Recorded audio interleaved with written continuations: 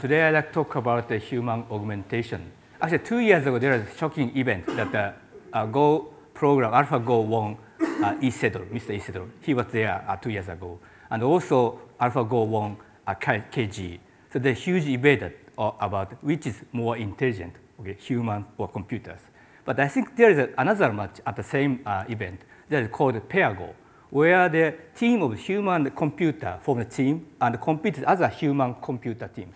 So I think the, just saying that which is computer human is uh, more or much more product is a human and computer and human and computer collaboration is much more product. So I want to say the human plus computer is better than just humans or just computers. And also the, in the history of AI, IA is an intelligence amplification or intelligence augmentation also have been proposed. That is not just creating like an Astro Boy type uh, autonomous robot. We have a lot of possibility of how to enhance ourselves using technology. So we are classified four types of human augmentation. The first one is physical augmentation, like he's having, so like exoskeleton, or you can, you can mechanically extend it. The second one is the presence. So yeah, he being here, but this limitation can be enhanced. And also cognition or perception can be enhanced. So I think we collaborate combination of these four types of augmentations uh, have a lot of opportunities. And thinking about the individual augmentation, like you are wearing maybe head-mount display or like a kind of uh, individual augmentation. This is, of course, the augmentation. It's a self-augmentation. Also, you can connect to other technology like other robot, drone, or other AIs, or even other humans. Combining the internet technology and human augmentation or connection of augmentation is very important. So this is a simple example of human-drone connection. In this case, she is watching the view from drone, and her movement, the drone follows her movement. So he or he feels that he were a drone. So it's combining the technology or combining your own ability to understand the environment also the flying ability of robot. So you can have a virtually flying machine, flying you. So you can virtually go anywhere. This is a human-robot connection. And also we want to connect human-human.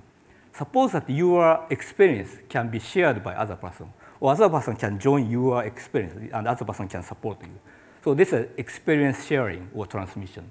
So to do this, we created a JackIn Head, which is the head-mounted camera that can cover the 330 degree of surrounding environment.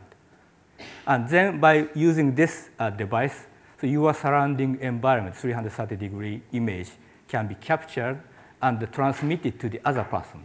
So the other person can join your own experience. So maybe you can share the like a traveling experience or maybe special moment like uh, you are doing bungee jumping. So you want to share this kind of uh, experience. And I want to show the more extreme one. So have you ever tried a giant swing or the horizontal bar? No. So you will, you will, okay. So you watch the, so he's also wearing the JackIn Head. So you watch this, or maybe your head-mount display, you can see, see, see, the entire image. But you feel this a little bit uh, too much aggressive because everything is rotating. So maybe you feel a kind of motion sickness. So I think technology can come in, comes in. So this is called stabilization. So we can track the feature point of this surrounding environment and calculate rotation parameters. So then we can compensate this rotation. Okay. So even though the same situation, we can see the sharing experience much more comfortably. So watching the same situation, so he's doing giant swing, so his body is spinning, his head spinning, but we can stop the entire space. So now you see the space is stabilized, and you can see the body is spinning more accurately.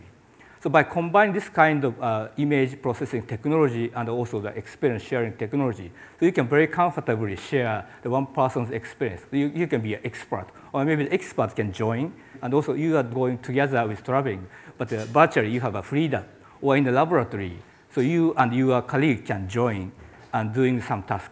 So I think this kind of technology can open up a new opportunity of maybe uh, entertainment or training, education, or kind so even though the senior people who cannot move, so he can join. So I think the connection of human-human ability is much more important. So this is the final example. So this is space connection. That means not just limited to human first-person view. You can extract from person view. So we combine the three-dimensional uh, reconstruction technology. So it's almost like a teleportation. So you can virtually go anywhere and you can join the uh, person's experience. So even though you are doing sports, so you are watching this player from outside, but if you want, you, you can be this person. So by joining or jacking to this person, so you can freely, seamlessly uh, change the first person view and third person view. So I think location limitation is no longer a pro problem. So we concentrate on how to the ability can be concatenated or con connected. So this kind of technology, we mainly talking about the human-human or human technology connection. So uh, I think the IoT is the Internet of Things. The things is connected by Internet. But I think the next big wave is Internet of abilities, where the ability of humans or ability of uh, technology or robot AIs are connected and support each other. So we are not just replaced by AIs or robot. So we are enhanced by AI or robot or other person. Thank you so much.